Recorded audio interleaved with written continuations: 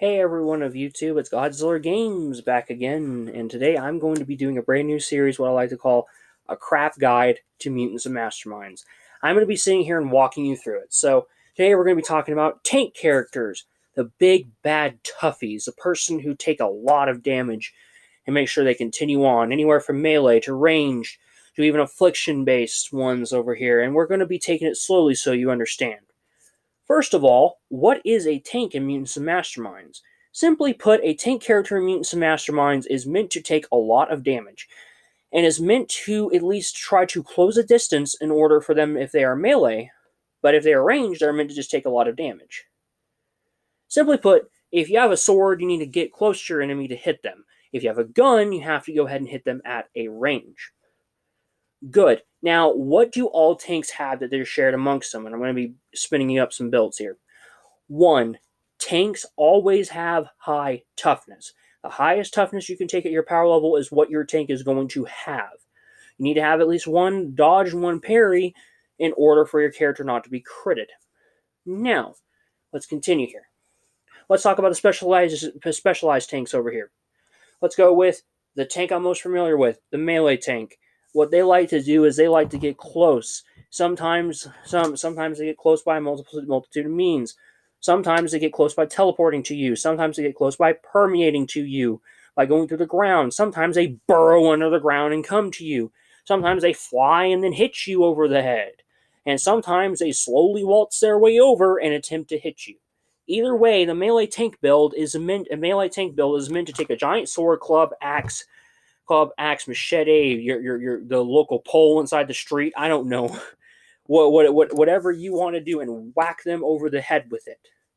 Simple and easy. Most builds are going to be using a balance build. Balance to hit, balance damage. Simply put, 8 to hit, 8 damage at a power level 8.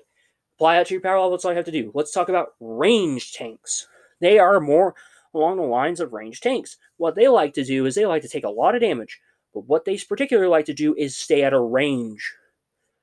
But they will. But sometimes you can see mixing these, and they will. If they need close distance, they will.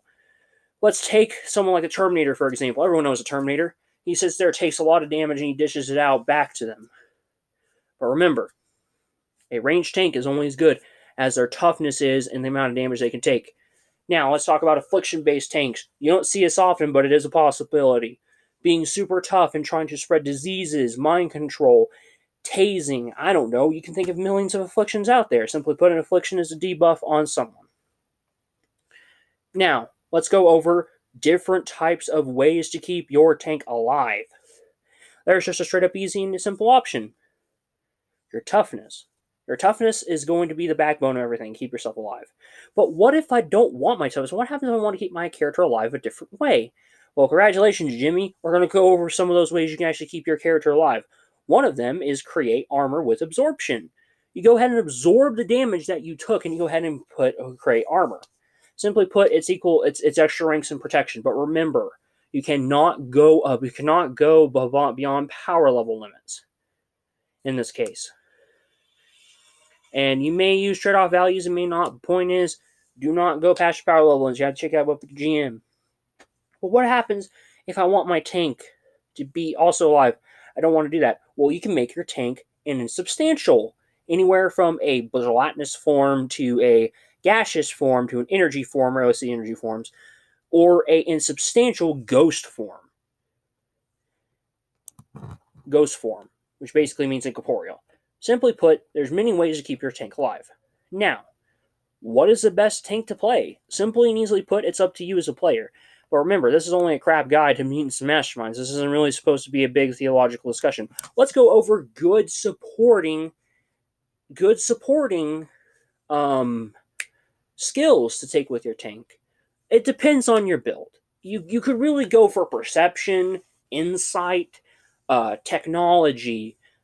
I don't know, fucking no sleight of hand. It depends on the type of tank you are and your character's backstory. But remember, every single Mutants and Masterminds character and this also follows for tanks, is recommended to have one movement power, one attack power, one utility power, and one good skill. That's just general recommendations. This has been a crap guide to Dungeons and Dragons, uh, not, Dungeons and Dragons, Mutants and Masterminds, Mutants and Masterminds, and that is the tank.